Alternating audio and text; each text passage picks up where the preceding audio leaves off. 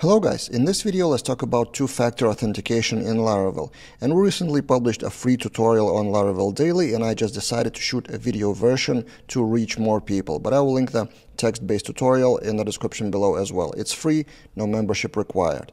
So what is the situation in Laravel 12 currently? Do we have any tools officially or packages to enable two-factor authentication in something like new starter kits? And the answer is no. The official starter kits, in their documentation, there's nothing about two-factor authentication. And the last comment from Taylor Otwell about it, he acknowledges that it's not in the starter kits and he promised MFA as well as Teams and API starter kit, but it was in February. And since then, unfortunately, none of those were actually released. They are probably busy with the team with something else, with other projects like Cloud and Nightwatch, but I still hope to see those things in starter kits, whether in this version or in the next future Laravel starter kit versions. However, it's still possible to use two-factor authentication from older Laravel official tools. So if you search the official documentation of Laravel, you have two-factor authentication by Laravel Fortify. So this is your option number one, to use Laravel Fortify,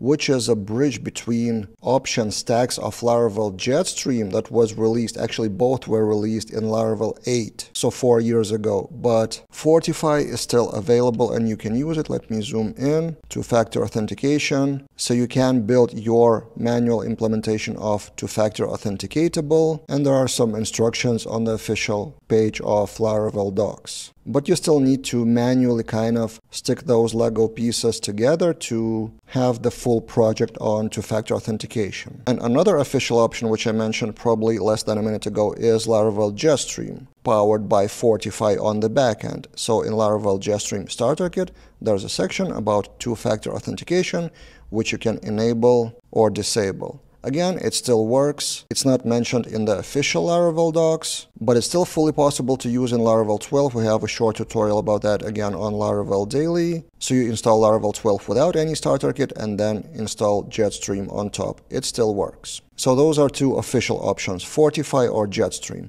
Now, non-official options, there are also packages. One of the most popular packages is called Google 2FA by Antonio Ribeiro.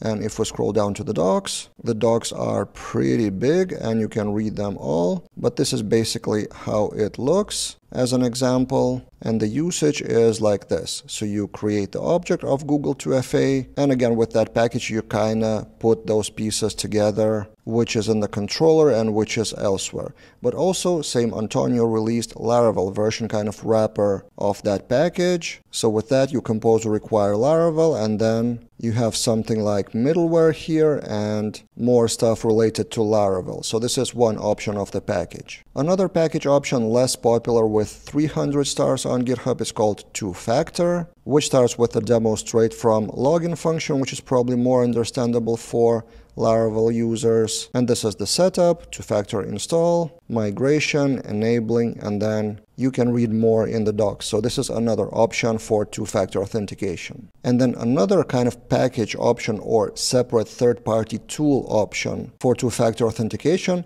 And this is where I get back to Laravel starter kits.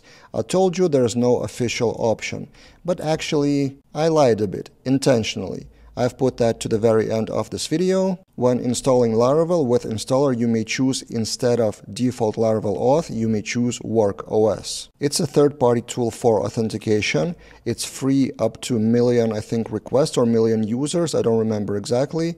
There's AuthKit by WorkOS, which includes two-factor authentication as part of their tool. This option was released with Laravel 12 along with starter kits, and not sure if you followed that, but it received quite a negative reaction from Laravel community like since when do we have a paid tool option in free Laravel installer and free framework. But the idea by Taylor Otwell was just he liked it. He thought it would be a good option, like optional thing for those who actually want a separate third-party service for the authentication. So there is no financial incentive here. It was just an option suggested to the users. But actually after like four months or so passed since it's released, I haven't seen many developers in my circles, or roughly any developers, who actually choose that WorkOS option. But still, it's one of the available options, so I had to mention it in this video. So these are the tools and packages available. Maybe I missed something, but at the end of this video, I want to also mention that you can build your two-factor authentication yourself. You may not even call that two-factor authentication, it's just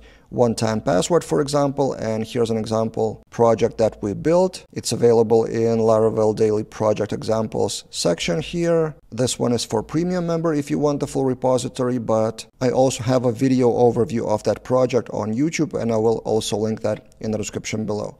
So yeah, which of those tools do you like and do you use in Laravel 12 or anything I've missed? Let's discuss in the comments below.